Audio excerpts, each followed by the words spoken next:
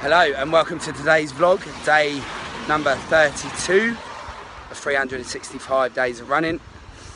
2017 miles in this year. So, a bit of a wet one today.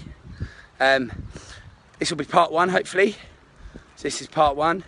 Um, 6.5 miles done.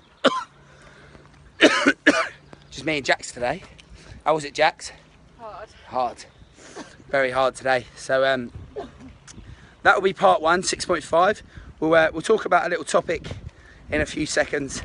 Um, just about your your challenge once it's done and how when you look back at it it changes so talk about that in a minute but 6.5 done so far and here we are for the evening part of today's run so second part of today's run 2.8 miles so that's a total of 9.3 in total which um, i'm really happy with um, for today's uh, day number 32 so tonight's topic is one that I've been quite passionate about with a lot of clients before, um, and that is in the sense of your previous challenge becomes a lot less dramatic. So, what do I mean by that? So, first of all, just to point out, anyone who gets into running or decides to do an event, absolutely hands down, fair play to them. Brilliant work, and I love that people want to challenge themselves. So, don't take this the wrong way. This is you know, it's all relative to where you are. So if you're only up at 5k now, um, it would still work the same if you're 10k, half marathon, marathon, ultra marathon, whatever it is you're doing. Um, this relatively works and worked for me throughout my process and my journey as well. So your your previous challenge becomes a lot less dramatic.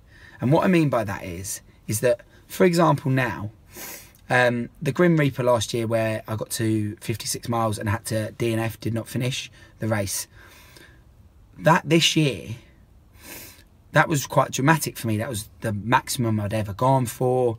Um, and that last year was really quite full on drama, like in my head and, and a little bit around me. But in terms of this year, it's now excitement. It's a lot less dramatic because you've stepped outside your comfort zone and you've learnt what's going on with it. So you're outside your comfort zone and now you're a lot less dramatic about it. So let's go back a step. So now when I go to a half marathon, with the utmost respect to anyone who is doing their first half marathon, I think it's great. I remember mine. It was so tough, so, so tough. But now, when I go to a half marathon, it's nowhere near as much of a mental problem in my head as it was previously.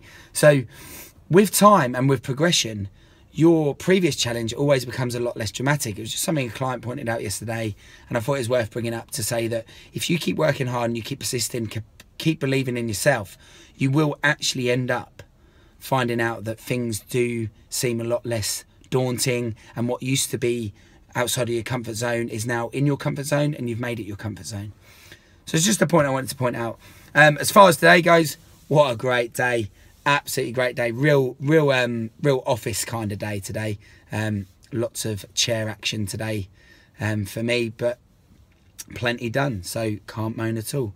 But anyway, have a great day, and I will see you tomorrow for day number 33. Take care. Bye bye.